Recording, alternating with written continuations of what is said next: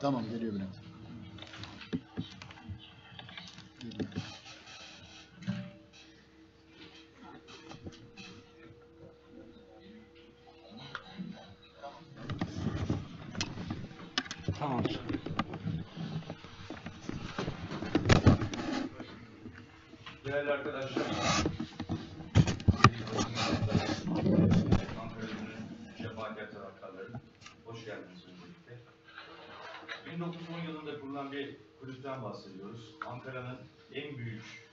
Marka değerinden, e, camiası çok köklü olan, sevenleri binlerce, on binlerce, yüz binlerce olan, her şartta takımını destekleyen bir takımdan ama hiç mi hiç hak etmediği bir yerde olan Ankara gücünden bahsedeceğiz. Ee, tabii ki benim özellikle meslektaşlarımdan, basın mensuplarından ricam e, sadece bu hafta, bu sezon değil, Ankara gücünün yıllardır kanayan bir yarası var. Arkasında e, bir siyasi güç, arkasında bir e, kamu gücü hiçbir zaman olmamıştır ki buna ihtiyaç da olmamıştır Ankara gücünün aslında olmaması da gerekir. Beklentiler de bu yönde değildir. Ankara gücünün e, sanıyorum tabii ki burada Sayın Başkanımız, hocamız da dile getireceklerdir. Beklentisi yarışmanın, sporun adilane bir şekilde olması yönünde. Şimdi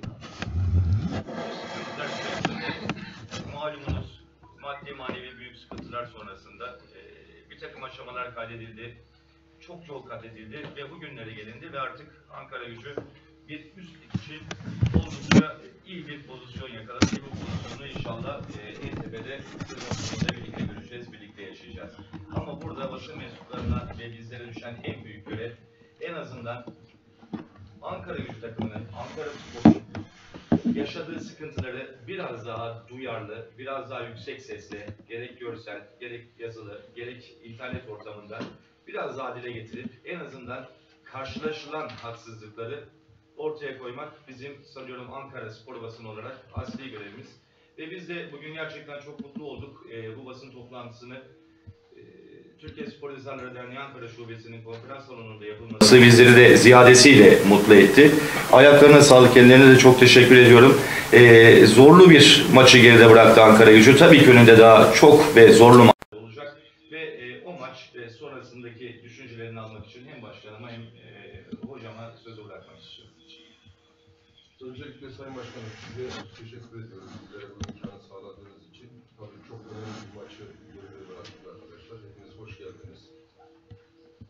Önemli olan şu, sporu spor olarak yapabilmek.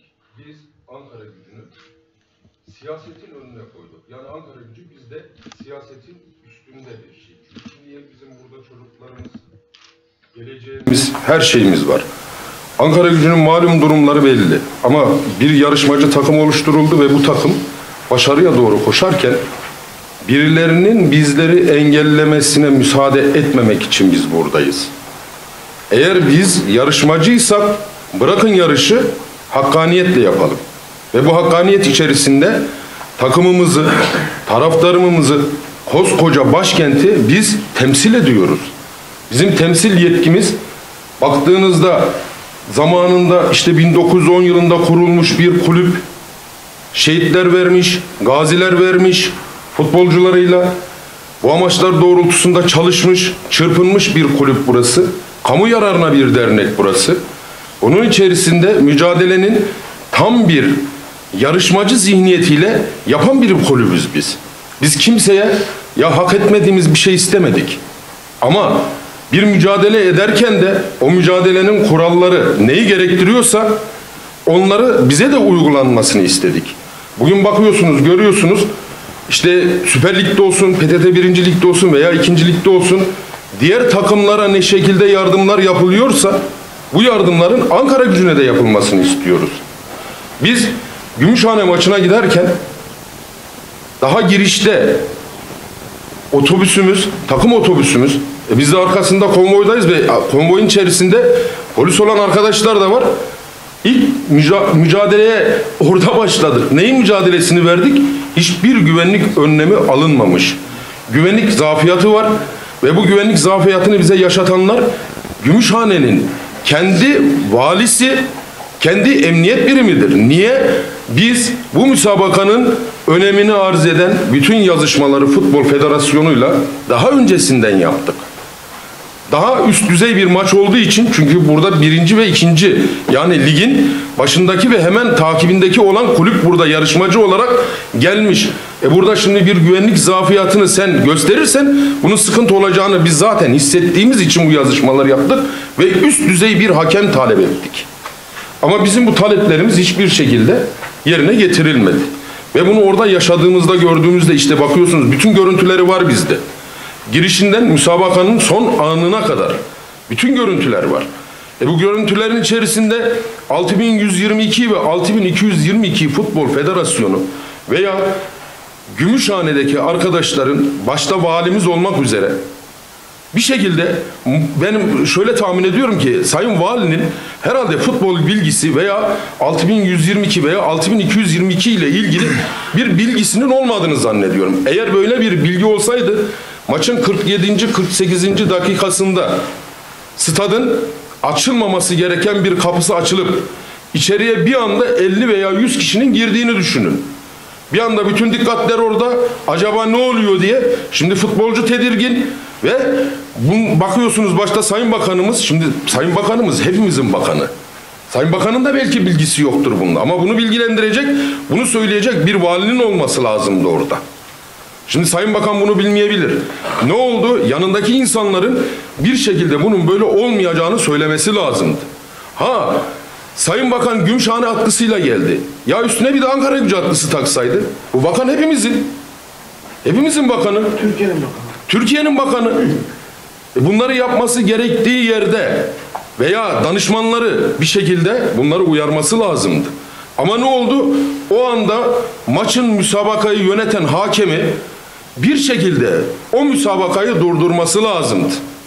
Bakın bir kişi değil, iki kişi değil, 50 kişi, 100 kişi ve bu maçı düşünün ki televizyon naklen canlı veriyor. E, Canlı verildiği yerde bütün görüntüler var. İnşallah bu görüntüleri de izleyip buna göre bir karar vereceklerini de düşünüyoruz. Şimdi sahanın içerisindeki yaşanmışları tabii ki hocam da anlatacak. Sayın Başkan Yardımcımız Ercan Bey de burada. Basın sözcümüz de burada.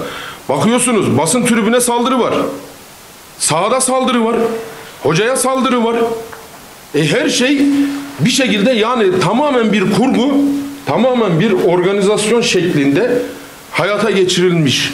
Bize orada hiçbir şekilde maç oynama fırsatı verilmedi. Ve be- biz şunu düşünüyorum ben. Bu maçın tarafsız bir sahada tekrar oynanması lazım. Kim ne derse desin. Eğer 10 tane yapalım, 10 tanesinde de Ankara gücünü yenecek gücü yok Gümüşhane'nin. Gümüşhane Ankara gücünü yenmek için hakeme bakana da ihtiyacı yok. Ama bunları kalkıp da siyaseten bakın gene söylüyorum biz Ankara gücünü siyasetin önüne koyduk. Ama bir stat düşünün dağların arasında ve o dağların arasındaki stattan bakıyorsunuz tepeden taşlar yağıyor taraftarın üzerine. Sen getirmişsin Ankara gücü taraftarı ya 300 kişi orada. 300 kişiyi öyle bir yere koymuşsun ki karşıya alsa problem olmayacak. Koyduğun yerde yani tamamen bir kurgu var. Şimdi Ankara gücü tribünlerinin koltuğu kırılmış. Arkadaşlar paylaşıyorlar. E diğer tribünlerin koltukları da kırıldı. Onlar ne oldu? İlk saldırıyı yapan kim? Bunlara baksınlar. Araştırılsın. Bizde hepsinin görüntüsü var. Şimdi bizim taraflarımızda da yaralanan insanlar var. Yöneticilerimiz var yaralanan. Soyunma odasının önünde saldırıya uğradık resmen. Ve bir tane polis yok arkadaşlar. Ve arkasından tutuyorlar, askerden yardım istiyorlar ve asker geliyor. Ya biz neredeyiz? Burası Türkiye Cumhuriyeti Devleti. Bakansa bizim de bakanımız. Sayın Valinin bu önlemi daha iyi şekilde alması lazım gelirken ama bu önlemler alınmadı. Ve bu güvenlik zafiyatından dolayı hiç kimsenin orada bir can güvenliği yoktu. Can güvenliği olmayan bir yerde zaten müsabaka oynatma şansın yok. Bakalım temsilciler, gözlemciler neler yazacaklar. İşte o raporlar çıkacaklar ortaya. Ama şu bir gerçek, biz Ankara gücünün hakkını kimseye yedirmeyiz. Ha biz başkasının hakkını da bize versinler, şöyle yapsınlar, böyle yapsınlar diye bir gayemiz de yok. Sadece ve sadece futbolda bundan sonraki kalan maçlarımızda bile olsa biz adalet istiyoruz ve hakem gönderilecek hakemlerin, temsilcilerin, gözlemcilerin işin ehlinin gönderilmesini istiyoruz. Bizi kalkıp da ikinci sınıf vatandaş sınıfına koymasınlar. Kimsenin böyle de bir hakkı yok. Olmaması da lazım. Ankara gücünün baktığınızda 15 Temmuz'da şu Ankara'da yaşanan olaylara bakın. Bugün polis kayıtlarında da vardır, her yerde de vardır. Niye? Ankara gücü demokrasi için mücadele etti. Kendi hakkını, hukukunu savunmak için de mücadele ediyor. Bunu kimse Ankara gücüne çok görmesin. Biz hakkımızın yenildiğine inanıyoruz. Bununla ilgili yapılması gereken büyüklerimizin, herkesin bir şekilde yapmasını istiyoruz. Sayın Cumhur Reisimizi biliyorsunuz futbol sevdalısıdır, futbolu da sever. Bu konularla ilgili muhakkak ki muhakkak gereğini yapacağını düşünüyorum ben. Kendi şahsıma. Teşekkür ederim. Hocam. Mi? Buyur buyursun. Ercan Soydaş, Başkan Yardımcısı Futbol Şube Sorumlusu. İlk defa bir deplasmanda bu kadar tedbirsiz, bu kadar emniyetsiz bir e, stada giriş yaptık. Özellikle ben burada Gümüşhane yöneticilerini, Gümüşhane Spor Kulübü yöneticilerini şiddetle kınıyorum bir Gümüşhaneli olarak. Utanç duydum. Çünkü e, her Gümüşhane Spor buraya geldiğinde Beştepe tesislerinde idman olanağı verdik. Bir ihtiyaçları olup olmadığını sorduk. Ama bizi hiç arayıp da bir eksiğiniz, ihtiyacınız var mı, yapacağımız bir şey var mı diye soran olmadı. Ve taraftarlarımızla birlikte çok samimi ve içten söylüyorum. Kendi güvenlik tedbirlerimizi alarak takımımızı soyunma odasına soktuk. Çıkışta da otobüse bindirip hep beraber konvoy halinde havaalanına hareket ettik. Bu ayıpta onlara yeter diye düşünüyorum. Bu kadar polisin yetersiz olduğu, emniyet tedbirlerinin alınmadığı bir maç görmedim. Şimdi 19 Mayıs stadında maçlara hepiniz geliyorsunuz. Başkanın makam arabası dahil hiçbir araç protokol girişine dahi alınmazken Gümüşhane Spor taraftarları bizim soyunma odamız, protokol girişi taraftarlarımızın yanına istedikleri bir girdiler, çıktılar, sahaya atladılar. Yedek kulübemize torpil attılar. Böyle çok enteresan şeyler yaşandı. Aslında bu maçın iyi analiz edilmesi lazım. Ee, Baştan beri kurgulanmış benim kanaatim o çünkü. Baştan beri kurgulanmış her şey e, belli ölçülerde ayarlanmış. Çok değişik bir maç oldu. Stada girerken ki Gümüşhane Spor'la şu ana kadar hiç problem yaşamamış bir kulübün yöneticisi olarak söylüyorum ki aynı kulvarda, aynı mecrada değerlendirilmemiz camialar kıyasladığında asla mümkün değil. Ankara gücünün büyüklüğünü Gümüşhane Spor gibi bir kulüple kıyaslamak zaten mümkün değil. Ama yakışmadı. Ee, Çok üzücü şeyler gördük orada. Biz bunu hakikaten hiçbir deplasmanda böyle bir şeyle karşılaşmadık. Üzüldüm ama ben her zaman şunu söylüyorum. Bu camianın büyüklüğünü anlamamışsa birileri en sonunda anlayacak herkes bu camianın büyüklüğünü. Özellikle teknik ekibimize ve futbolcularımıza güveniyoruz. Taraftarlarımız zaten her zaman takım başarısız olsa da hiç bırakmadılar. Şimdi de birlik bütünlük içerisinde bu sezonu ben bu takımın şampiyon olarak bitireceğine yürekten inanıyorum. Genel anlamda bu maçın görüntülerinin herkes tarafından izlenmesini istiyorum. Başkan vekilimiz her konuya değindi. Ben ilk defa bir maça, yıllardır maç izlerim. Ankara gücünde yönetici olmadan önce de gelip maçlarını izlerdik. Süper Lig maçlarını izliyorum. İlk defa maç oynanırken işte normal protokol kapısı girişi dururken böyle e, maç oynandığı esnada bir girişe şahit oldum. Bu federasyonun talimatlarında ne derece geçerlidir? E, Neye sebep olur? Sonuçları ne olur? Onu da hep beraber göreceğiz. Şimdi kulüp avukatlarımız bununla ilgili hazırlıklarını yapıyorlar. Gerekli itirazları yapacağız. Yani bir Gümüşhane olarak şunu söyleyeyim. e, orada yaşadıklarımdan ben utandım. E, keşke yaşanmasaydı. Ama Ankara gücü dediğim gibi onurla gururla görev yaptığım bir kulüptür. Gümüşhane Spor yöneticileri de yine kınadığımı belirtiyorum. Bütün yönetici arkadaşlarıma, taraftarlarımıza ve basın mensuplarına geçmiş olsun diyorum. İnşallah hukuki süreci de hep beraber takip edeceğiz. Teşekkür ediyorum. Evet. Merhaba arkadaşlar abilerim. Ee, şimdi her şeye zaten değindi Ercan abiyle Metin abi. Ee, ben de aynı şeylere değinebilirim. şeyler aynı ama varsa sizin kafanızda olan bir soru soru cevap şeklinde de gidebiliriz. İsterseniz o şekilde de yapabiliriz. Hocam dilerseniz bir de e, Tuna Bey Tabii. söz almak istiyor. Tabii. Şu mikrofonu da biraz yaklaştırayım.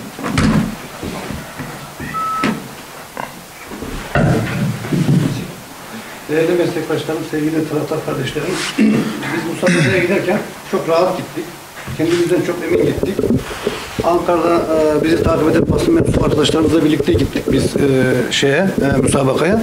Hatta işte e, çoğu arkadaşımız burada. Giderken Ali abi olsun, işte Özgür abi olsun, Metin Ali abi olsun bana sordular. Ya bir problem çıkar mı Gümüşhane'de? Dedim ki Gümüşhane ile bizim bir herhangi bir husumetimiz, problemimiz yok. Asla ve asla problem çıkmaz. Rahat olun. E, stadyumuna kadar gideceğiz. Dönüşte de stadyumdan hareket edeceğiz dedik. Ama biz e, geldik. Metin abi, Metin Başkanım bana dedi ki ya kavga çıktı dedi. Neredesiniz falan dedi. Ben şaka yapıyor zannettim, espri yapıyor zannettim. Ciddi misin dedim.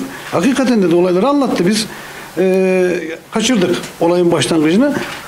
Ondan sonra biz stada girmeye çalışırken basın mensupları basın tribününe girmeye çalışırken orada e, ciddi anlamda küfürlere ve hakaretlere maruz kaldılar. Bizi taciz ettiler, tahrik etmeye çalıştılar. E, Ankara'dan giden basın mensubu arkadaşlarımız sağduyulu davrandı. Alper Bey'in e, refakatiyle girdiler içeriye. Ondan sonra e, 90 dakika boyunca maçın e, baş- maç başlamadan önce küfür etmeye başladılar. Ciddi anlamda küfür etmeye başladılar. Bizim taraftarlarımızı tahrik etmeye başladılar. Biz yine sağduyulu davrandık. Taraftarlarımız sadece Ankara gücü tezahüratı yaptılar. Hiçbir şekilde Gümüşhane ile falan ilgilenmediler. Sadece takıma destek olmaya çalıştılar. Maçın başlamasıyla birlikte e, oyuncumuz Ömer Bozan'a dört çift ayakkabı, net dört çift ayakkabı fırlattılar. E, cep telefonu bataryası fırlattılar. Koltuk değneği fırlattılar. O pet şişeler, sular, çatapatlar falan hariç fırlattılar. Ve e, Sayın Valinin stada gelişi e, en az 5-6 defa anons edildi. Az önce başkanlarımın da bahsettiği gibi e, gayri resmi bir şekilde stada girdi. Aynı şekilde bakan e, Sayın Bakan girerken e, en az girmeden önce 10 defa anons edildi. Şimdi bu hakemden nasıl bir objektif yönetim bekleyebiliriz? Yani bu şekilde yapılan bir anons çerçevesinde bu hakemden nasıl bir objektif e, yönetim anlayışı bekleyebiliriz? Basın tribündeki basın mensubu arkadaşlarımıza hem fiili hem sözlü saldırı oldu.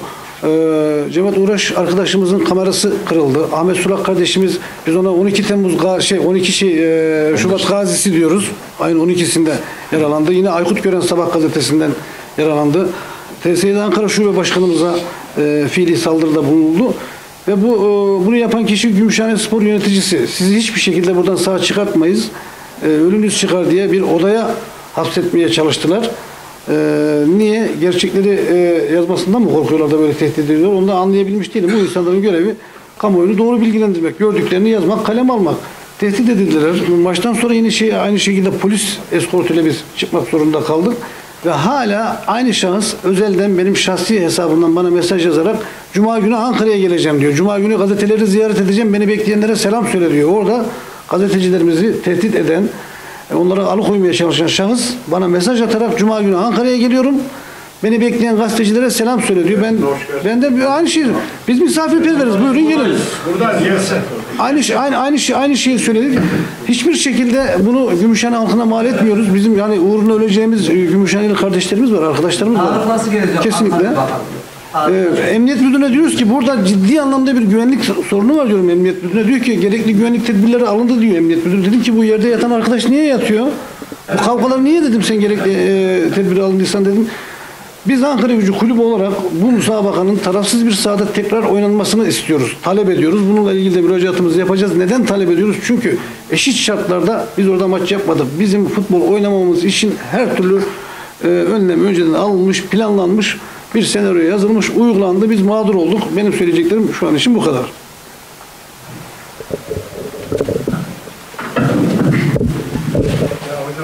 Hocam sorun cevap şeklinde gitti ama olaylar. Olaylar aynen anlatıldı. Sadece ben bir ekleme yapacağım. Olayların ilk başlangıç yeri aslında şoförler arkadaşlar. Ee, başkanları bir açıklama yaptı. Ee, şoförümüzü dövdüler taraftarları. Allah'tan biz sakin kaldık diye. Ama biz soyunma odamızın önüne gitmeyelim. Ee, takımı onların taraftarların içinde indirme mecburiyetinde kalsın diye normalde yatay konulan otobüsün dik konulmasıyla biz onların taraftarının içinde kaldık. İşin başlama noktası tezgahın, işin büyük kısmı oradan başlıyor. Başlangıcı belirtmek için söyledim. Siz dinliyorum şimdi. Hocam siz tabii ki saha içindeydin.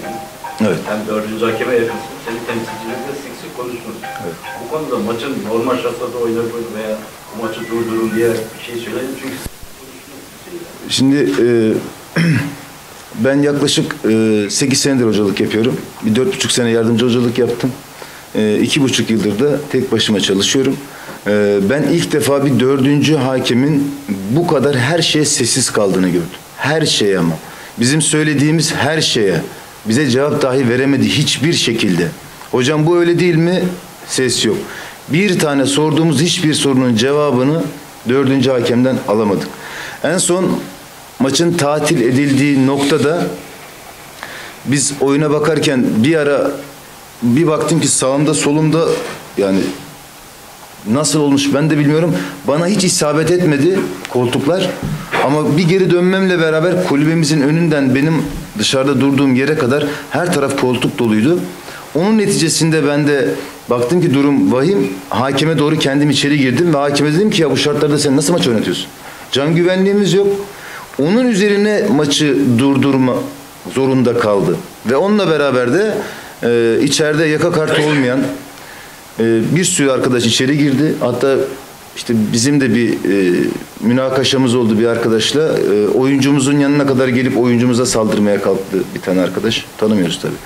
Kart yok bir şey yok. Dolayısıyla e, yaklaşık bir 15 dakika zaten oyun durdu. Ama maçın uzatılma süresi de 10 dakika. Yani e, ben başta şunu söylemek istiyorum arkadaşlar. E, biz ilk defa mağlup olmadık. Biz ama kendi hatamızdan ama farklı şekillerde biz bu bizim beşinci mağlubiyetimiz. Biz Gümüşhane'de ilk defa mağlup olmadık. Burada da kendi elimizle maçımızı verdik. Ama o maçta dahil zerre kadar hiç kimseye en ufak bir şey olmamıştır. Burada gelip bizi yendiler, çektiler. Hiçbir şekilde uğurladık da kendilerini. Ki bunlar futbol müsabakalarında, spor sahalarında olması gerekenler. Ama geldiğimiz nokta farklıydı. Çünkü Ankara gücü takımı her dönemde ligi alt sıralarda bitirdiği dönemlerde bile Ankara gücü takımı her zaman iyi takımdır. Bu herkesin de böyle bilinir. Dolayısıyla biz bu sene çok daha güçlüyüz. Çok daha iyi bir takımız. Biz ona inanıyoruz. Ee, şampiyon olabilmek için rakibimiz elinden gelen ne varsa sahanın dışında elinde gelen ne varsa kullanmıştır. Bu nettir. Ee, ben maçtan sonra devre arası hakemle de ben bir konuşmak isteğinde bulundum ki kabul etti kendisi de dinledi beni. Ee, aynı pozisyonlarda farklı düdükler çalıyorsun hocam ne olursun bu maçın önüne geçme dedim kendisine devre arası. Ama ikinci yarı aynı şekilde devam etti ve maçtan sonra gittim kusura bakma dedim. Bu maçı kaldıramadınız ekip olarak. Ee, öyle görüyorsan senin görüşlerine saygım var hocam teşekkür ederim dedi gitti. Hiçbir şey de demedi. Diyemez de bence. Çünkü en az üç tane pozisyon var. Kendi arkadaşlarının çarpışıp bize foul verdiği onlara. Ee, bunun gibi bir sürü şey var ama ben tekrar söylüyorum arkadaşlar. Bunu söylerken e, ben bu ma- mağlubiyetin arkasına mazeret olarak bunları kalkan olarak kullanmıyorum. Bir hoca olarak. Biz tabii ki yaptığımız yanlışları, doğruları biz biliyoruz. Ee, eksik olduğumuz bölgeleri de biliyoruz. Yanlış yaptığımız yerleri de biliyoruz. İşin futbol kısmına giremiyoruz. Ve bugün e, ben de sevinerek ve severek geldim buraya. Birincisi sezon başı 3-4 tane arkadaşımla gelmişlerdi. Kampta görüşmüştük. E, hep bir birlik beraberlik çağrı, çağrım vardı benim. Camiaya, taraftara, e, farklı kesimlere. Bu hiç olmadı. Bu maça kadar hep şey beklendi. Hoca nerede hata yapıyor? Oyuncular nerede hata yapıyor? Yönetim nerede hata yapıyor? Taraftarların o grubu nerede hata yapıyor diye hep bir beklenti vardı herkeste. Sezon başından beri biz bunu sağlayamadık. Ama bu maçtan sonra yani demek ki bu maç böyle bir şey lazımmış bizim camiamıza da. Şu anda bizim camiamızı gördüğüm şu tek vücut kenetlenmiş bir vaziyette. Her zaman e, her şerde bir hayır olabilir diye bir şey de vardır bilirsiniz. Bu şerde belki bizim için bir hayır vardır. Ben öyle görüyorum ya da öyle istiyorum bilmiyorum. Ee, bu şerle beraber bizim camiamız kenetlenmiştir. Herkes kenetlenmiştir. Bu bizim için çok önemli. Emin olun bu saatten sonra evet bundan önce çok isyan ettik. Haklarımız yenildi. İşte e, sponsorlarımızdan paralarımız verilmedi. Hiç kimse bizimle ilgilenmedi. Çok veryansın ettik doğrudur. Ama emin olun ki bu saatten sonra geri kalan 12 hafta diliminde biz sadece ve sadece kendimizi istiyoruz. Ankara güçleri istiyoruz. Emin olun ki biz başka kimse istemiyoruz. Ee, maçtan sonra da söyledim. Çok samimi duygularımdı. Aynı duygularım. Yani onlar öfkeyle verilmiş bir e, beyanat değildi. Biz bu saatten sonra bu şekilde olalım biz bize yeteriz arkadaşlar. Ama bunun içinde tekrar söylüyorum basını da var. Ben ilk defa ben de Ankara güçlüyüm. Göğsümü gere gerek de söylüyorum. Ki ben teknik adamım. Belki yarın öbürsü gün burada olmayacağım. Belki gideceğim yerde bu Ankara güçlü diye itham edileceğim. Hiç önemli değil. Tekrar söylüyorum altını çize çize. Ama basın mensuplarımız dahil ilk defa herkes bir yere odaklandı Ankara gücüne. Ama bu saatten sonra tek ricam bu olayı yıllardır Ankara gücünü kullandılar. Bu olayı farklı yerlere çekip de bizi kimse kullanmasın. Tek ricam bu. Çünkü herkes şu anda Ankara gücü yine gündeme geldi. Herkes bundan nemalanmaya çalışıyor. Kimse nemalanmaz. Bizim tek nemalanacağımız taraf biz buradan birlikte olacağız. Birlikten güç doğar. Allah nasip ederse şampiyon olacağız biz de. Tek nemalanacağımız bu. Evet özür dilerim biraz uzattım ama şimdi alabilirim. Hocam ben bir şey merak ediyorum. Siz, Tabii. e, Tarık e, Gümüşhane'nin e, Evet. Ankara gücünün. Tarık'la sonuçta ikiniz de Ankara'da futbol oynamış. ve Evet. futbolcusunuz. Yani teknik adamsınız şimdi. Tarık'ın oradaki tutumunu nasıl değerlendiriyorsunuz? Size karşı, e, Ee, futbolcularına karşı. Tarık'ın oradaki tutumu e, o şeyin ilk tutumu arkadaşın o sivil kişilerin sahaya girmesiyle bizim bir arada ve e, yaşamamızdan o zaman böyle şey yapmaya geldi. E, ayırmaya geldi, onları çıkartmaya geldi. Yani yalan konuşamam ama e, Tarık iyi bir teknik adam, daha da iyi bir teknik adam olacaktır. Bizler de, o da, ben de e, yolun başında sayılırız. E, ama bir şeyi e, kendisine yakıştıramadım. Oyuncularımla girdiği diyaloğu kendisine yakıştıramadım. E, topları alıp kenarlara fır- fırlatmasını da bir yere kadar anlarım maçı kazanmak için ama ondan sonra oyuncularıma yaptığı e, e, davranışı tasvip etmiyorum. Bir şey sorabilir miyim hocam? Tabii. Bu yaşananlar doğrultusunda oyunun dürüst oynandığına inanıyor musun? Kesinlikle inanmıyorum. Şimdi biz bunu daha önce de e, bir iki maçtan sonra dile getirdik. E, şimdi şöyle de bir şey var arkadaşlar. Şimdi burası hep diyoruz ligin altı kimse görmüyor ama ya ligin üstünde herkes görüyor zaten orada bile bir dünya iş oluyor. Yani orada bile çok büyük hatalar oluyor. Ama hep şunu savunurum ben. İşte hakem de olsa, teknik direktör de olsa, oyuncu da olsa bakın hata ayrı. Hata başımızla beraber. Ben de hata yapıyorum, oyuncum da yapıyor. Hakemler de yapacaktır. Emin olun ki başımızla beraber. Ama emin olun bu son maç bu hatalık değildi. Hatayı bir kere yaparsın, iki kere yaparsın. Bu 7, 8, 9, 10 olduğu zaman bu hata olmaktan çıkıyor arkadaşlar. Ondan dolayı bence değil abi. Peki bunu düzeltmek için Ankara gücü olarak ne yapacaksınız? Yani bunu da yenmek için Ankara gücü olarak ne yapacaksınız? Bunu yenmek için bizim tek yapacağımız abi biz sahada daha güçlü olacağız. Biz e, Gümüşhane maçında evet biz yine onlardan oyun olarak kendi düşüncemi söylüyorum. Çok daha iyi oynadık ama bu sefer bitireceğiz. Bu sefer yani hani bir deyim vardır ya işte hakimi de yeneceğiz. Yenebiliyorsak biz onu yapacağız abi. Biz başka bir şey yapamayız. Biz Ankara Gücü camiası olarak demin Metin abinin dediği gibi biz ne kimseden bir şey istiyoruz, yardım istiyoruz. Biz sadece hakkaniyet istiyoruz. Yani bu saha içinde hakemlerden de bunu istiyoruz. Siyasilerden de aynı şeyi istiyoruz. Kaldı ki ben e, bir Ankara güçlü olarak dışarıdan bir Ankara güçlüydüm ama 7 aydır bu camianın içerisindeyim. Ya arkadaşlar 7 aydır bu kulüp para ödüyor, borç ödüyor ve halen yetiştiremiyoruz. Ve transfer dönemi geldiğinde yani çok cüzi bir miktar ama biz bunu ödeyip transferi açamadık. Belki de bize farklı bir noktada yardımcı olacak bir arkadaşı da aramıza alamadık arkadaşlar. Ama bu borçlar yani bugünkü mevcut atıyorum yönetimin takımın borcu değil ki. Şimdi 7 aydır ben buna şahit oluyorum. 7 ay. Oyunculara para ödenecek. Başkanla konuşuyoruz. Hocam şunu yatırmasam 3 puan silinecek. Tabii başkan o. E şu dosyayı çekivermezsem bu borç gelecek. 7 aydır ben bunlara şahit oluyorum ki bunun evveliyatı da var. Yani emin olun ki o kadar zor bir süreçten geçiyoruz ki biz. İçeriden söylüyorum size. Yani her anlamda. Ama tek yapmaya çalıştığımız şu anda Özellikle sahada bizler, dışarıda da yönetimimiz. Dışarıda yönetimimiz para bulmak için çok çalışıyor.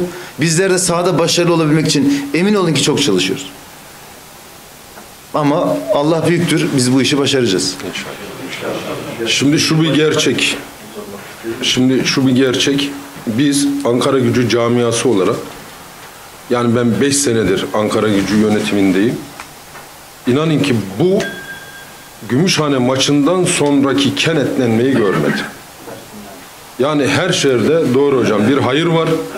İnşallah bu bize daha düzgün, daha iyi, daha kaliteli her şeyiyle ama futboluyla, yönetimiyle, taraftarıyla kimse bizi öcü görmesin.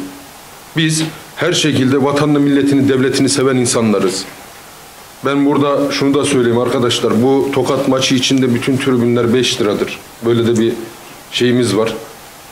Bunu bu maçta ben zannetmiyorum ceza geleceğini çünkü deplasman olayı olduğu için Bir de şu var. e, ceza olduğu için Ali abi yani öyle bir intiba da var ki kamuoyunda. Şimdi ben bunu İne, İnegöl'de de yaşadım. Şimdi taraftarlarımız geliyor. Taraftar kışkırtılıyor. Küfürü yiyor. Taşı yiyor. Bir cevap verdiği zaman Ankara gücüne isyan çıkartıyor. evet. Yani aynısı burada. Yani Yaşadık. artık bunu da bir şekilde bir yani nasıl çözeceksek ya taraftarımız çok daha çok daha aklı selim olacak. Hiçbir tarihe kapılmayacak ya da farklı bunu nasıl olur bilmiyorum. Ama böyle de bir algı var. Yine Ankara Gücü taraftarı Gümüşhane'de dağıttı. Yani yani orada var 5000 kişi biz varız 300 kişi. Hocam sahaya girdi 1500. Aynen. Buyurun Ali Bey. Başkan şimdi maçtan önce tabii Ankara biz buradaki mesela misafir takımın yanına boş bırakılıyor ve polis şeyinde kimse alınmıyor. Evet. Maçtan önce Ankara gücü taraftarı alındı. O sırada boştu. İş bizim protokol. Hatta iki otobüsümüz de Tabii dışarıda bekletildi. Tabii sonra baktık ki o boş olan bizde yakın olan yerde taraftarlar alınmaya başladı. Başkan da bizim şeyde ben temsilciler kurulu başkanı Abdurrahman Arıcı'yı aradım. Cevap vermedi. Bir dakika sonra aradı. Buyur Ali Bey. Aynen şunu söyledi. Başkan dedi. Ankara gücü taraftarının yanına taraftarlar alınıyor. Büyük olaylar çıkar. Daha başlamamış yani tribün olacak. Buna dedim bir önlem alın. Temsilci uyarın. Buraya taraftar almasın ya da güvenlik önlem alın. O sırada tabii iki dakika sonra baktım temsilciyi tabii aramış ama ondan sonrasını bir siz Bakın, yaptınız bu konuda. bakın birinci temsilci Davut, ismi Evet, Davut. Davut Çelik. ikinci temsilci Muhittin diye biriydi. Yani tanımıyorum. İlk defa orada gördüm bunları. Bizim taraftarımız tribüne alındığında o VIP diye tabir edilen yer, bizim taraftarımızın yanındaki VIP diye tabir edilen yerin zaten fazla bir bilet satılmadı oraya ve taraftar almadılar. Taraftarı nasıl aldılar? Bizim taraftar oraya geçip de karşılıklı işte bu olaylar bir anda olunca ama ben öyle tahmin etmek istiyorum. Bir anda öbür tribünü boşaltıp bizim taraftar tribünün yanına aldılar. Yani orada biletli seyirci yoktu. Çünkü turnikeleri tamamen açtılar. Ve ben bunu bizzat bizzat temsilciye sözlü olarak da söyledim. Hatta ve hatta o ikinci temsilci geldi. Bizim arabalarımız da işte benim arabamın ön camı patladı. Onlarla ilgili görüntüleri de kendileri aldılar. Yani o anda bizde arkadaşlar bizde takımın taşlandığına dair takımın önü kesildiğine dair, orada duran otobüsüne varana kadar, otobüs şoförünün ne dediğine varana kadar, maçın tamamıyla ilgili görüntüleri, maç sonrası çıkan olaylarla ilgili tamamıyla bu olan bütün görüntüler hepsi şu anda mevcut, hazırlandı. Yazılarıyla beraber biz Futbol Federasyonu'na bu itirazımızı yapıyoruz. Niye yapıyoruz? Biz camiamızın hakkının yenildiğine inananlarız. Bizle beraber inanan insanlar, bakın Türkiye'nin her yerinden bize telefon geliyor. Türkiye'nin her yerinden bize mesaj geliyor. Bunu sadece bir Ankara güçlü olarak da düşünmüyor arkadaşlarımız. Emlakçılar Odası Başkanı beni aradı işte. Yani onlar da gelecekler buraya. Ziyarete gelecekler. Ve bunun içerisinde Fenerbahçelisi, Galatasaraylı, Beşiktaşlısı var. Niye? Ankara gücünün hakkının yenildiğine inanıyorlar. Ve bu maçı canlı seyretti insanlar seyretti.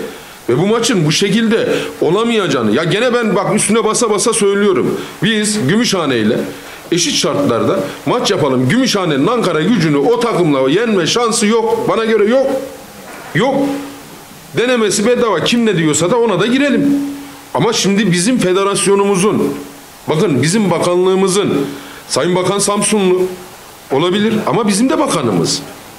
E sen şimdi Samsun Spor'a 23 trilyon lira para gönderdim diyorsun. Onda daha göndereceğim diyorsun. E dönüyorsun diğer kulüplere bakıyorsun.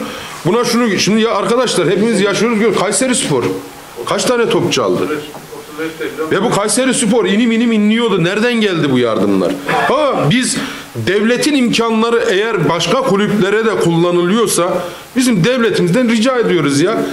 Bize de kullanın. Biz daha Tandoğan sahamızı yaptıramadık. Biz düşünün ki makine kimyada bakın biz her sene sponsorluk parası alıyoruz. 750 milyar gibi bir para veriyordu bize.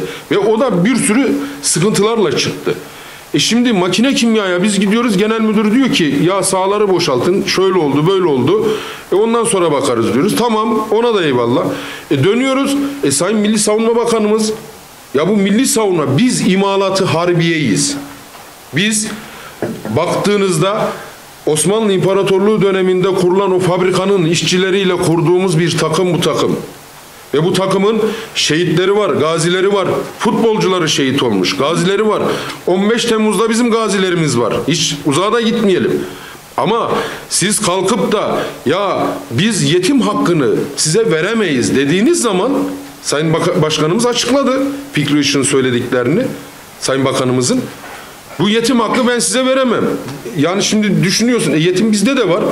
Geçtim onları kamu yararına bir derneğiz. Bizim öncüsüyüz başkanım. her sene bizim her sene her sene bakıyorsunuz 2000'e yakın çocuk biz bakıyoruz ve bunlara inanın sabah kahvaltı, öğlen yemek, akşam yemek veriyoruz. Ve bizim gelirlerimizin malum herkes biliyor. E şimdi siz bizim bu sponsorluğumuzu artırın diye biz giderken e şimdi bir takım şeyleri de iyi algılamak lazım. Ha doğru hocam çok doğru söylüyor. Biz bize yeteriz. Biz Türkiye'yiz. Bakın Ankara gücü olarak demiyoruz. Biz Türkiye'yiz. Doğru. Biz bize yeteriz. Ama birilerinin de çıkıp kalkıp da nasıl bir işte Gümüşhane'nin başkanı Ankara'da iş yapıp ekmeğini buradan kazanıyorsa bakın Gümüşhane'de başkanlık yapıyor. Bir şey diyor muyuz? Demiyoruz. Ama Ankaralı'nın da bizi ya şu yere koymasınlar, cami avlusuna koyulmuş yetim çocuk muamelesi yapmasınlar bize. Hani biz diyoruz ya sahipsiz Ankara, sahipsiz Ankara işte herkes söylüyor. Hayır. Ankara belki. Ankara gücünün bakın sahipleri var burada. Herkes burada. Baktığınız zaman Esenboğa Havaalanı'nda görüldü. Baktığınız zaman Gümüşhane'de görüldü. Avrupa'da görüldü. Avrupa'daki bizim taraftarlarımızın yaptıkları hepinizin malumu. Takip ediyorsunuz. Face'lerinden her şeyle biz takip ediyoruz. Niye? Ankara güçlük. Bakın bir de bugün 14 Şubat sevgililer günü. Ya bizim sevgilimiz Ankara güç. Biz onun için mücadele ediyoruz. Biz siyaset üstüyüz. Bizim bu yolda hiçbir şekilde devletimizin bizi yalnız bırakmasını da istemiyoruz. Biz burada bu mücadeleyi verirken gene söylüyorum, üstüne basa basa söylüyorum. Biz kimseden ya hakkımız olmayan bir şeyi istemiyoruz. Açık. Ama bizim hakkımıza gasp edilmesin. Birilerine ne yapılıyorsa, diğer kulüpler nasıl kurtarılıyorsa biz bu zamana kadar 60-70 milyon borç ödemişiz. Bu şeylerin içerisinde. Ha destek olan Allah razı olsun. Ama gene bakın gene üstüne basa basa söylüyorum. Biz Ankara gücün hakkını yedirmeyeceğiz. Mücadelemizi yapacağız. Ha gücümüzün yettiği yere kadar. Onun için de bu mücadelenin içerisinde Sayın Başkanım sağ olsun kendisini bildiğim için söylüyorum. Şimdi Ankara Spor Yazarları Derneği bizim için hakikaten çok önemli. Niye? Bizim bu stadın içerisinde daha çok da geçmişten de tanışmışlığımız olduğu için ya içimiz yanıyor. Yani bunları gördüğümüz zaman içimiz yanıyor. Bu bakan bizim bakanımız. Fikri Işık da bizim bakanımız. Yetim hakkı ben size yedirmem demek ne demek? Yani bunların açıklanması lazım. Ben inanıyorum ya bunu Sayın Cumhur Reisi duysa herhalde Sayın Bakanların ben vay haline diyorum ya başka bir şey demiyorum. Ben sadece Sayın Bakanların vay haline diyorum. Böyle bir şey olamaz. Çünkü o bütçedeki yetim hakkını eğer o kadar düşünüyorsan bir kalemde 23 milyon lira veya 10 milyon lira veya bilmem ne o zaman kimseye vermeyeceksin. Ve biz bakın bizim armamızda ne var? Bir mermi değil mi? MK yazıyor bizim formalarımızda. Yani biz bu takımın kuruluşu sizsiniz. Bizler de burada bekçiyiz. Biz de işte emanetçiyiz. Ne olacak? Yarın bir gün bir başkaları gelecek bu kulübün başına. Hocam doğru söyledi. Bakın bağıra bağıra. Ben diyor göğsümü gere gere diyorum ki ben Ankara güçlüyüm. Belki gittiğim yerde önüme koyacaklar. E bunu yaşamayan hocalarımız yok mu? Var. Bunları da görüyoruz. Bunları da takip ediyoruz. Ama bizi kimsenin yok sayma şansı olmamalı. Ankara gücü Ankara'nın markasıdır. Ankara gücü taraftarıyla, şu anda yönetimiyle, futbolcusuyla, camiasıyla büyük bir TSK'dır. Bizi kimse yok saymasın. Biz sadece hakkımız olanı istiyoruz. Başka da bir şey istemiyoruz. Teşekkür Bir şey ediyorum. sorayım son. Buyur. Önemli şey olarak. Bir Ankara milletvekillerinden haber oldu. Bu vali, emniyet müdürü ve belediye başkanları aradım. Bize şu anda biz zaten bu basın toplantısına gelmeden önce MHP Ankara İl Başkanı Sayın Erkan Haberal kulübümüzü ziyaret ettiler yönetimiyle beraber. Ondan öncesinden bir Aylin Hanım aradı. İşte bir Selçuk Dereli'nin biliyorsunuz açıklamaları var. Ama şu ana kadar öyle bir bilgi başkanım size geldi mi? Belediye başkanından Yok ya inanıyorum ki onlar da bu konuyla ilgili duyarlı olacaklar. Bizim şimdi şöyle bir durumumuz var. Biz artık yani kavgaya da biz kavgadan hiçbir şey kazanmadığımız için biz kavga etmek istemiyoruz. Biz kim bir çivinin üstüne bir çivi daha çakıp Ankara gücünü bir adım öne götürmeye çalışıyor? Kim destek veriyor? Kim ya bir tek kuruş da olsa işte protokol davetiyesi alan veya ne bileyim işte bir tane gelip de ya işte ben işte bilet alayım işte gişenin önünde bekleyip beş tane bilet alıp da işte dört tane olmayana veren o insanların sayesinde Ankara gücü bir şekilde yürüyor. Ha yardımlar gelmiyor mu? Muhakkak geliyor. Kimse bunu inkar edemez. Ama daha bu sev- bu e, bu seviyede daha sıklaşması lazım. Niye sıklaşması lazım? Hedefe kilitlenmiş bir şekilde gidiyoruz. Ben hocama katılıyorum. Bizim için Gümüşhane maçı kaybedilmiş bir maç değil. Kazanımdır. Ankara Gücü o gün şampiyon oldu. Kim ne derse desin. Arkadaşlar yazıyor, doğru yazıyorlar. Niye? Ankara Gücü camiası kenetlendi. Bir havaalanındaki zaten bakın insanlar maçtaydı ama buradaki o kenetlenme, o 7 bin 8 bin kişi insan niye geldi oraya? Sevgilisini karşıladı. Yani bu bu kadar basit. Ankara güçlük farklı bir şey. Çok farklı bir şey. Onun için de arayandan da Allah razı olsun, aramayandan da Allah razı olsun. Biz şehrimizi inşallah birleştireceğiz. İnşallah bu şekilde de devam edeceğiz. Başkan itiraz ne üzerine yani? Ne, istiyoruz? Şey istiyoruz? Şimdi itirazın zaten e, düşünün ki bir maç oynanıyor ve güvenlik zafiyatı var. Can güvenliği yok. Bunu bildiriyorsun. Federasyona bildiriyorsun. Ama biz bu maçın normal şartlar altında oynanmadığını ve onun için tekrarını diyoruz. Tekrarını istiyorsun. Evet. Ya bugün basın mensupları bizimle birlikte giden arkadaşlar siz de değerlendirin. Kendi gözünüzle gördünüz. Ee, sonuçta bir şeyler yaşadınız yani. Sizin can güveniniz var mıydı? Biz Zaten basında açıkladı arkadaşları. Ali abi. Ben yani şöyle şimdi biz gittiğimizde tabii ki yani can gör. Yani istersen şöyle kalkayım. Başka?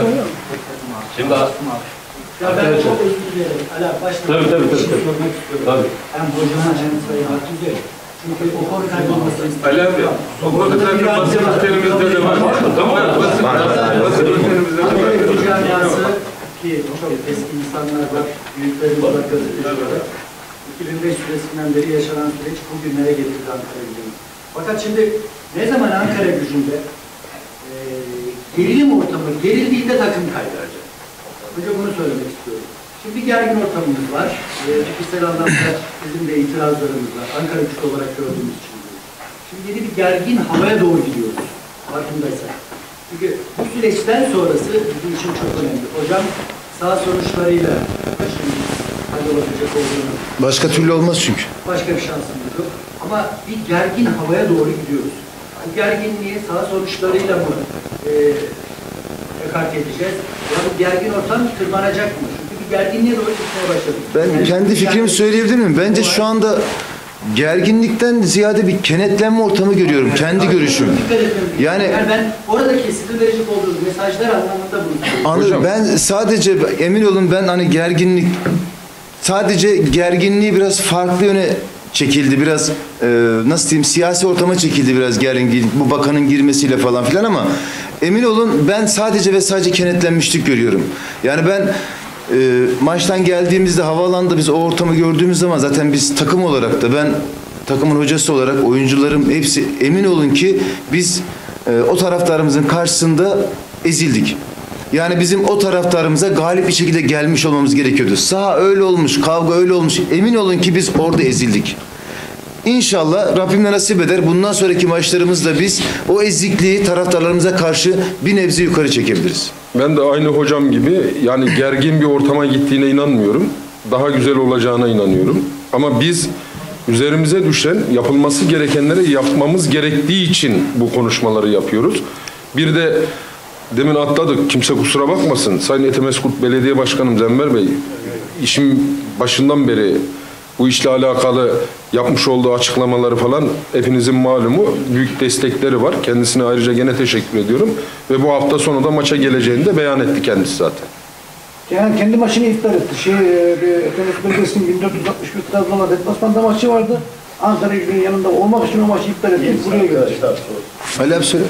Yok yok abimiz. Varmış aslında. Buyur abi. Ali Hocam İsmet Yaşar'ı o zaman Uzun dik maratonda hak edildiğimiz bir mağlubiyet var. Hocamın dediği gibi tekrar beş defa da yenildik. Bu maç bize hiçbir şey kaybettirmedi. Dediğimiz gibi birlik beraberlik kaybettik. Puan farkı hiç önemli. Biz oynarsak, biz yenersek o puan farkı kapanır. Ama önce biz bize olacak. Biz yeneceğiz, biz kaybettik. Biz her şeyimize güveniyoruz. Benim bir tek de şeyim, şimdi e, ateşli bir seyircimiz var. Ceza kesmeye meraklı bir federasyonumuz var. Aleyhimize rapor yazmaya meraklı temsilciler varken artık saha kapatma noktasına gelen bir sıralamaya girdik. Onun için bu maçta biz gerekli yerlere mesajımızı verelim, ceza almayacak şekilde ve maçtan korkmayacak tezahüratlarla sadece Ankara üzerine odaklanıp kulübümüzü destekleyelim ve ceza almayalım. Şimdi zaten o İsmet abi o mesajlar verildi. İleride çok daha lazım. Bize senin Eğer bir soru varsa En- en- arkadaşlar isterseniz fazla uzatmayalım. Yani bir soru varsa soru alalım. Değilse bunların hepsi söylendi. Senin bu dediğin Biz de en sonda bizim son nokta olarak koyacağımız şeydi. Şey- Sen koydun aynı şekilde e, Soru temennilerimiz aynı. Hocam bir soru. Temennim buyur hocam. Aslında soru değil benimki. Gerçekten sorulabilecek her soru soruldu. Günümüzün teknolojik imkanlarıyla yaşadığımız şerle ilgili en ince detaylarına kadar bilgilendik. Bir şer üzerine birlikteliğimizden duyduğum mutluluğu ifade etmek istiyorum. Ne güzel. Ve gerçekten bunun altının nasıl doldurulacağını da merak ediyorum. Ama ben sezon başına giderek öyle bir güzide topluluğu da bir arada görmekten büyük bir mutluluk duydum. Keşke daha farklı ortamlarda bir araya gelseydik diyeceğim ama sezon başlarken sevgili hocama Ankara gücünün bu şehir için ne kadar önemli olduğunu ifade etti. Binlerce ailenin Ankara gücüyle yatıp kalktığını, bunun basına nasıl yansıdığını tartıştık ve her teknik adama da bu bilgiyi veririm. Bizim spor servislerimiz üzülerek ifade edeyim ki birer kişiye indi. Bugün gerçekten Ankara basını Ankara gücüne tüm gücüyle, tüm imkansızlığıyla desteğini verdi. Bu desteği de hak etmişti. Eğer Ankara'da çıkan gazetelere bakarsanız Sabah gazetesi, Milliyet gazetesi, biz Habertürk gazetesi, Hürriyet gazetesi birer sayfa bu meseleyi gündeme taşıdı. Ben şunu ifade etmek istiyorum. Ankara gücü bu kent için ne kadar önemli olduğunu herhalde milyon kez ifade ettik. Simitçinin bile bu şehirde kazancının değişeceğini ifade ettik Ankara gücünün başarısıyla. Neler olacağını. Biz bu şehrin üzerine dertleştik. Ama bundan sonraki yol haritası bence çok önemli. Ankara gücünün milyonlara anlatılması gerekiyor bu şehirde. Üniversitelere anlatılması gerekiyor. Okullara anlatılması gerekiyor. Bu şehrin milletvekili apoleti takmış olanlara anlatılması gerekiyor. Hocamla telefon görüşmesinde biz gerçekten bunun bir milat olduğunu, yaşananları Alper hocamla konuştuğum zaman bugün bir milat dediler. Tuna'yla görüştüğüm zaman bir milat dediler. Yaralanan arkadaşlarımızla konuştuğum zaman bir milat dediler. Bugün bize tarihi bir sorumluluk yüklemeli. Sorular soruldu, gazeteci soracaktır, cevabını alacaktır. Ali abicim ben e, bir şey kesebilirim. Çok özür dileyerek söylüyorum. Rica ederim. Tek şey ne biliyor musun Ali abicim? Tek şey bizim ne yap edip buradan şampiyon olarak çıkmamız. Bunun ben hep sezon başından beri aynı şeyi söylüyorum. Ankara gücünü bu saatten sonra emin olun şu hele ki son görüntülerden sonra bu havaalanındaki Ankara gücünü kimse anlatmaya gerek yok arkadaşlar. Sadece ve sadece burada bütün sorumluluk artık ben ve oyuncularım da tabii ki sizlerin de desteğiyle. Hem basınımızın taraftarımız zaten özellikle ama bunu belirteceğim. Son İnegöl maçıyla beraber inanılmaz bir destek var tamamen. E, takıma kitlenmiş durumdalar. İnanılmaz derecede keyif aldım. İnegöl maçıyla alakalı söylüyorum ve o günden beri bu zaten devam ediyor. Tek ricam şu sezon başından beri aynı şeyi söylüyorum. Benim tek hedefim arkadaşlarımızın tek hedefi emin olun bizim ne farklı bir hedefimiz var. Aman işte şuraya gidelim o Bizim tek hedefimiz şampiyon olabilmek. Bunun için çalışıyoruz. Hata yapıyorsak da yapıyoruz. Hata da bizimdir ama hatadır. Ne art niyetli bir şeydir. Sadece hatadır bizim yaptığımız. Aa bu hatadan dolayı da olamasak da tekrar söylüyorum. Sezon başında da söyledim. Şimdi de söylüyorum. Aa bir suçlu mu var? O zaman tek suçlu benim. Bunu zaten söyledim. Ama bırakalım bu destekle beraber, bu kenetlemeyle beraber gidebiliyorsak gidelim. Olabiliyorsak şuradan kurtulalım. Aa, ondan sonra zaten emin olun ki Ankara gücünün önü de camianın önü de bulunduğu yerde emin olun ki çok daha farklı olacaktır. Hocam. Tek sadece yapacağımız 12 hafta. 12 haftaya kilitlenmek. Biz çünkü maçtan geldikten sonra hemen arkadaşlarımızla oturduk. Bunun konuşmasını da yaptık oyuncularımızla. Biz sadece şu anda bu 12 maça kilitlendik. Başaracağımızı düşünüyoruz. Başaracağımıza inanıyoruz. Ama yine son sözü Rabbim söyler. Onu da Hocam çok kısa bir şey diyeceğim bitireceğim. Sahayı biz konuştuk. Görevlerinizi siz burada ifade ettiniz. Yönetimimizin eğer bu dönemde yapılan çabaları, gayretleri gerçekten kaç Türk filmine senaryo olur ben bilemiyorum. Bunu yakından takip edenlerden. Taraftarlarımızı artık onların yeni bir format kendi aralarında mutlaka bu olayların üzerine mutlaka atmaları gerekiyor. Basın olarak biz mutlaka atmamız gerekiyor. Bugünü gelin bir milat ilan edelim. Bu kadar sahipsizlikten bahsediyoruz, bu kadar yalnızlıktan bahsediyoruz. Aslında yalnız olmadığımızda 12 Şubat tarihe geçti zaten. Şimdi inanın bir Ankara gücü maçında tavsiye ediyorum bu kentin kaderinde rol oynayanları şu stadın etrafına bir geçsinler. O kadar güzel profiller var ki, o kadar bayanı, genci, ihtiyarı, yaşlısı hiçbir maçta böyle bir fotoğrafa sahip olamayız. Yani bu fotoğrafa da özen gösterelim. Kimse artık hatalar yapmasın. Ee, ben bir büyük hatalardan bahsetmiyorum, şeyden bahsetmiyorum ama bugünkü toplantının belki bir gazeteci refleksi dışında bir konuşma oluyor ama bir Ankaralı olarak, bir başkentli olarak, spor yazarlar olarak burada büyüklerimiz var, başkanımız var. Biz bugünü bir milat yapalım. Hem Ankara gücü için hem de başkent için diyorum. Ali abi heyecanla da çok teşekkür ediyoruz. Ee, artık antrenman saati de geldi herhalde değil Geçiyor mi bile. hocam? Ee, çok teşekkürler katılımlarınız için. Vermen.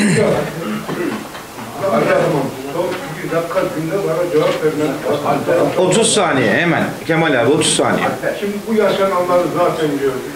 Zaten baskı altında maçı da orada olayın geçmesinden. Müteessir olduk. Biz bir kalem çektik. Teknik direktörümüz, meslektaşımızın da ifade ettiği gibi, Metin kardeşimizin de ifade ettiği gibi biz de görevimizi yaptık. Şimdi burada yeğenimle dahil, zaten özellikle dinlersin. Taraftarların çok sabırlı olmalı. Ben de hocamın dediği gibi Ankara şampiyon olacağına Allah adına inanıyorum. İnşallah. Şunu söylemek istiyorum. Aman olacak. Bir de gelen takımlara karşı. Azıcık davranın. Karşımızda federasyon var. Hakemler var. Sabırlı olun. Yürekten destekleyin. Bir de ikincisi. Onların yaptığı rezilliği biz burada beyefendilikle uğurladık. Maalesef orada karşılandık. Bugün yazınızı yazdım. Gazeteye gönderemedim, yetiştiremedim. Yazacağım, sözümü bitiriyorum Sayın Başkanım. Onun için, Allah için taraftarlarda çok büyük güç var. Sabırlı olun. Hocamın dediği gibi Ankara gücü çıkacak.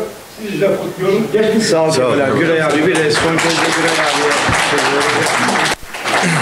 Şimdi, şimdi bir e, olayın üzerinde özellikle duralım. Kısa, çok kısaca konuşalım. Bir teklifte bulunacağım. Bir teklifte. Ankara taraftarı kavgacı bir taraftar olarak. Doğru, doğru.